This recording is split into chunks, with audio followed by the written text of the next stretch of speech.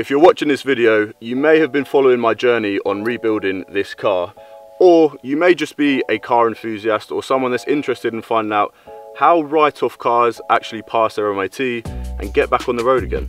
So for those of you that have been following my channel, you will know that this is a category S write-off. And for those of you that haven't, and for those of you that haven't, you're gonna wanna hit that subscribe button and make sure you follow this journey because we've got plenty more projects to come. And if you haven't left a like, please do because it helps me out massively to get exposure on YouTube and hopefully we can start to grow this channel a bit more. In this video, I will be talking about what it takes to get a category write-off car through its MOT and very shortly you're about to find out what the outcome was from when I took my car to its MOT. So we're gonna roll on to that and I hope you guys enjoy the rest of the video.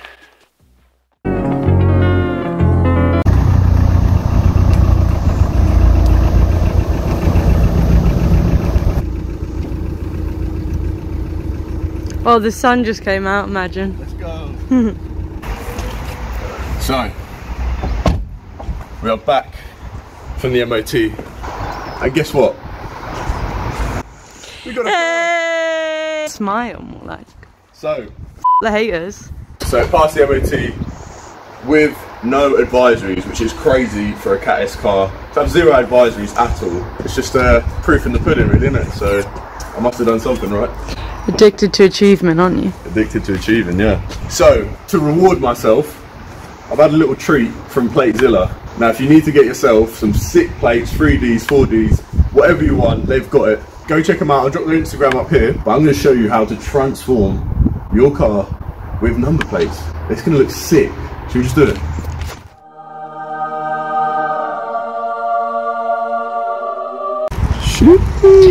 YouTube peak Patrick, yeah?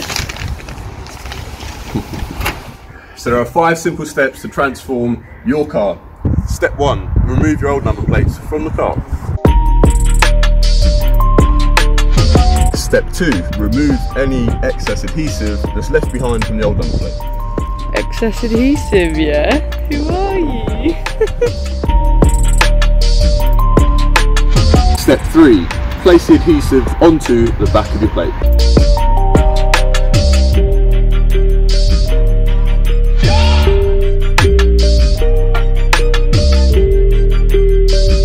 Step four, stick the plate onto the car.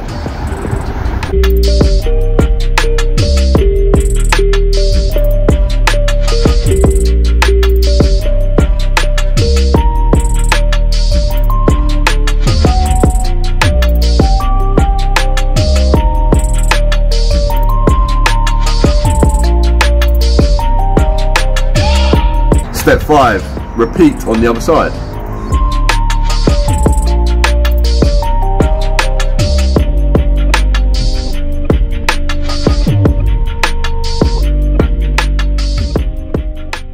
The car looks so much better now with some fresh plates. Just give it that edge over other cars out there. Shout out to Platezilla. Like I said, links in the description for all their stuff. So yeah, check them out.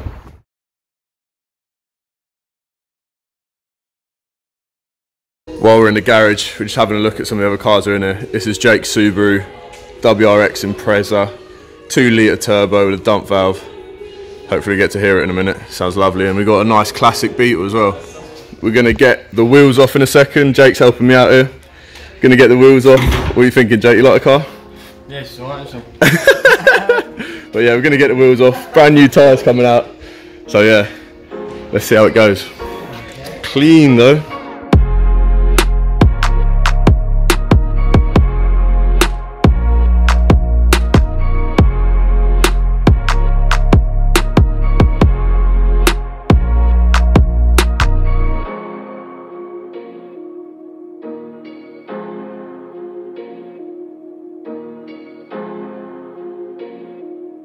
Right, two new tyres on the back.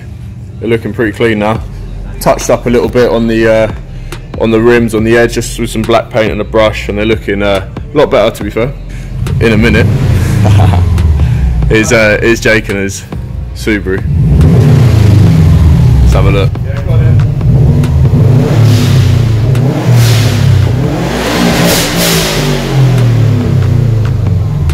I got absolutely sprayed then. yeah.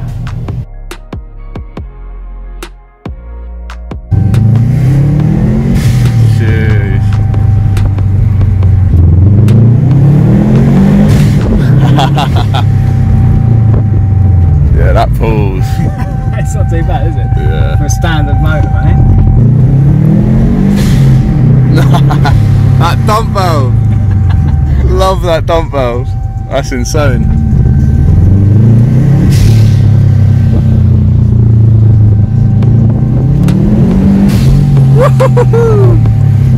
That was too quick. Awesome.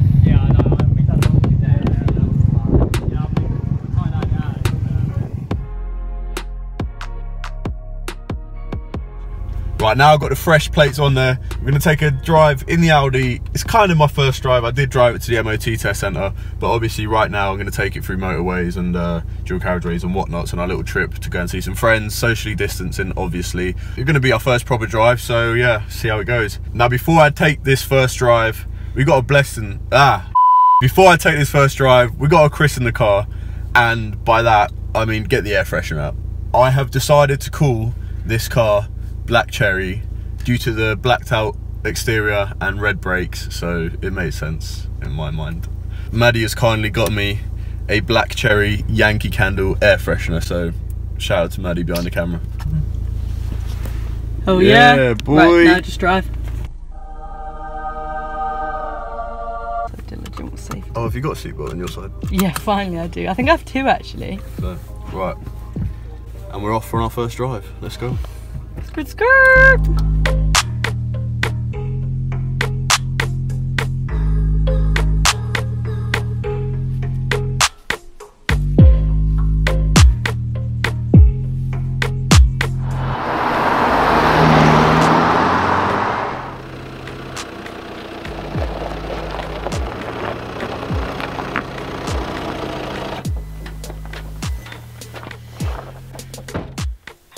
So, I've been driving the car around for a couple of weeks now, and to be honest with you, it's been absolutely faultless. So, we're going to finish off the video with the topic or the subject of the video, which is basically the MOTing of the car. And as you guys know, it did pass MOT and it's great, and it has had no fault because it is a category write off car. So the insurance wrote off the car. It has to be MOT'd again, no matter how long the MOT had previous to the crash or to it being written off. So around five years ago, you actually had to go through extra inspections with a write-off car after you were preparing to get it roadworthy again. That was apart from the MOT. So these days, all it takes to get a write-off car back on the road is to just MOT it. And to some people, it may seem a bit of a low standard because it doesn't check every single thing on the car.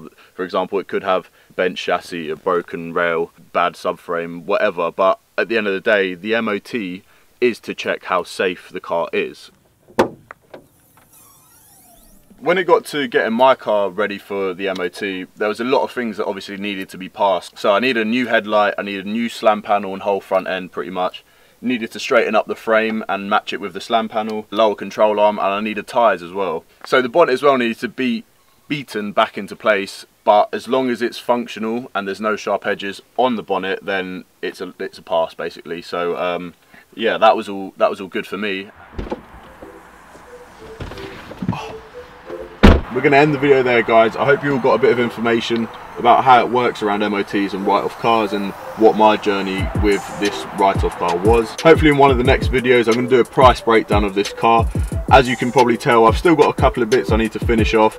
Uh, the bonnet actually does need replacing and the bumper needs reglossing to match the rest of the car as well. But hope you guys enjoyed it. If you haven't subscribed yet and you come all the way this far please do subscribe and hit that like button for me. It'd be very useful and yeah, see you guys next time. Peace out.